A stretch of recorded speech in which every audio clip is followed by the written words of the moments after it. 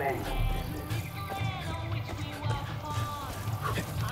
Judges no longer share the can listen to this on crippling traits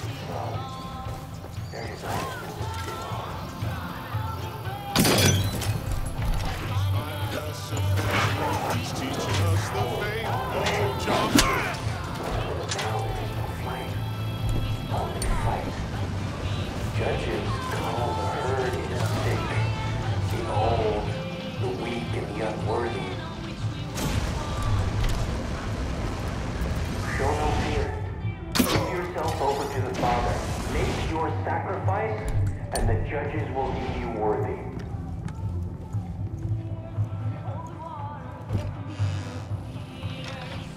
Oh, the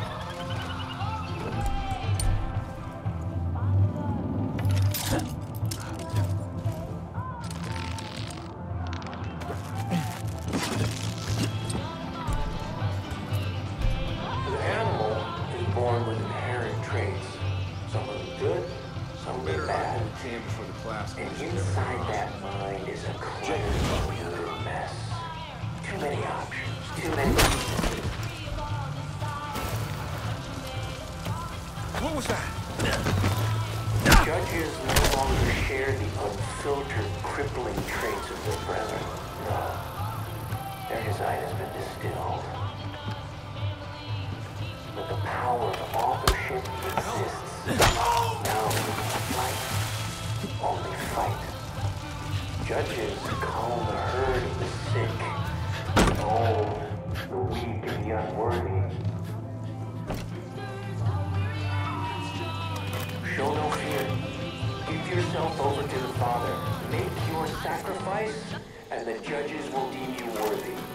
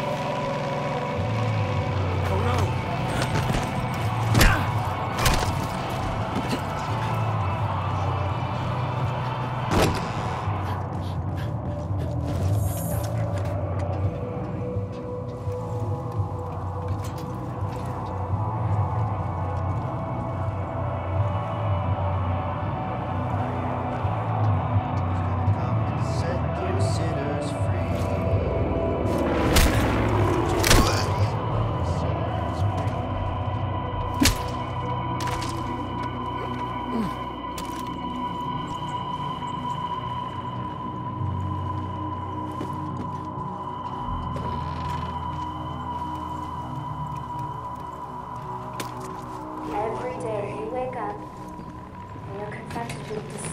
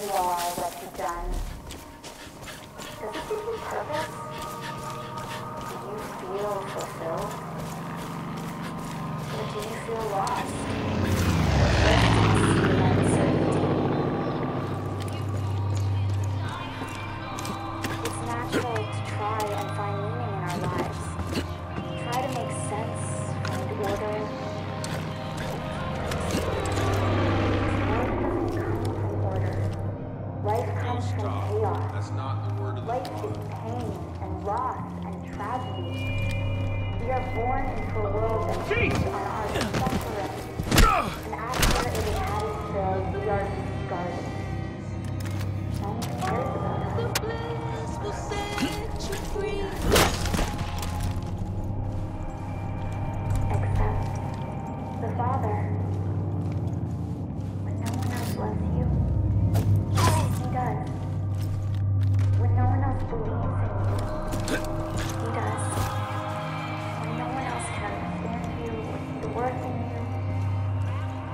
does. Has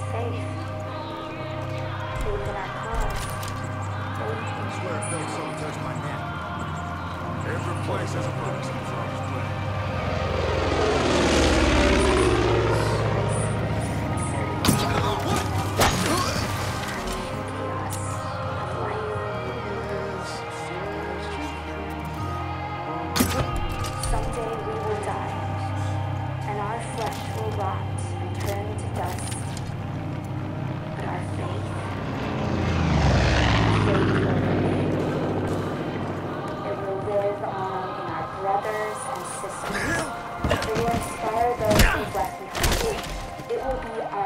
legacy everlasting.